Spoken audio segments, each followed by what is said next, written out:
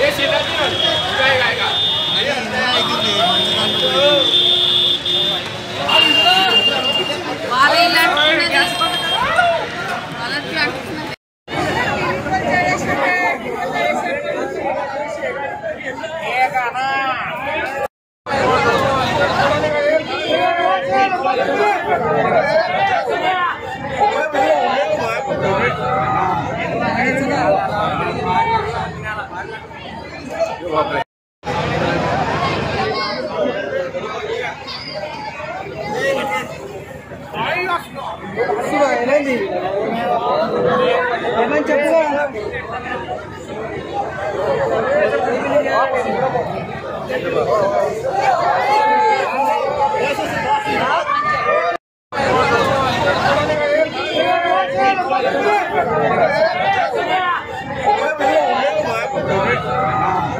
एक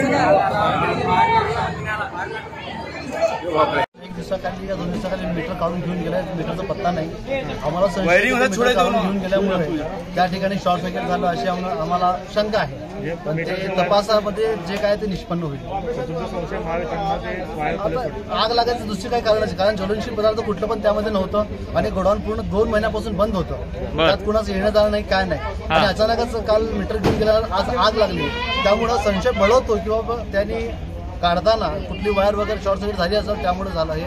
झालं असं असं मला वाटतं. ठीक आहे ठीक आहे. दुपारी सव्वा तीन वाजता रेवारपेठ मुख्य अग्निशामक केंद्रामध्ये समक्ष इथल्या नागरिकांनी येऊन कळवलं की गुलाबी चौक येथे अड्डे शेजारी आग लागलेली आहे. आम्ही गॅरेजमध्ये निघताना पाहिले की या ठिकाणी खूप मोठा प्रचंड असा धूर दिसत होता. तर आम्ही या ठिकाणी वाटलं की पहिल्यांदा लाकूड अड्डे लागले परंतु इथे प्रत्यक्षात येऊन पाहिलं असता. त्या ठिकाणी बॅरल जे असतात पाण्याचे आता वापरतात ते रिकामे बॅरल असतात त्या बॅरलचं स्टोरेज त्यांनी त्या ठिकाणी केलेलं होतं त्याच्यामध्ये.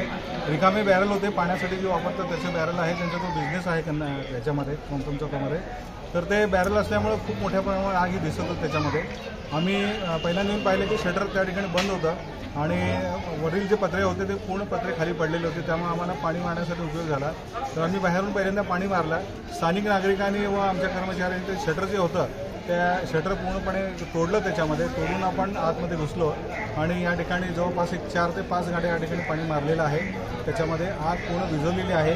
त्याच्यामध्ये रिकामे बॅरल्स प्लॅस्टिकच्या होत्या. त्याच्यामुळे आग ही मोठी दिसत होती परंतु मोस्टली चार गाड्यामध्ये आणि पाचवी गाडी कुलिंगसाठी आपण वापरलेलं आहे. आणि या ठिकाणी त्यांचं ते दुकान बंद होतं त्याच्यामध्ये ते सध्या दुपारच्या वेळेला कोणी नव्हतं. तर आग ही मोठी लागली होती. याच्यामध्ये जीवितहानी कुठली झालेली नाही आहे परंतु त्याची मालमत्ता जी आहे त्याच्यामध्ये प्लॅस्टिकचे ड्रम्स वगैरे ते विजलेलं आहे. आणि आता आग पूर्णपणे विजलेली आहे. नेमका आग सव्वा तीन वाजच्या सुमारास वर्दी आली आणि तात्काळ ते लोक समोरच होते आणि त्यांच्याबरोबर आमची गाडी आली या ठिकाणी. आणि अ, इथं रेवारपेठ आमचं खूप जवळ केंद्र आहे. आणि त्या ठिकाणी तात्काळ त्या ठिकाणी पाणी मारून हे आहे आग नेमकं कशा आगी मोठी कंट्रोलमध्ये आली आगीचं कारण अजून अद्याप समजलं नाही त्यांना. तर विचारलं असतं ते मालक अजून नाही येते का तर त्या लोकांना आम्ही विचारण्याचा प्रयत्न करत आहोत त्याच्यामध्ये. परंतु आगीचं कारण काय अद्याप निश्चित समजलं नाही. त्याच्यामध्ये नुकसान देखील किती झालेलं आहे हे देखील समजलं नाही.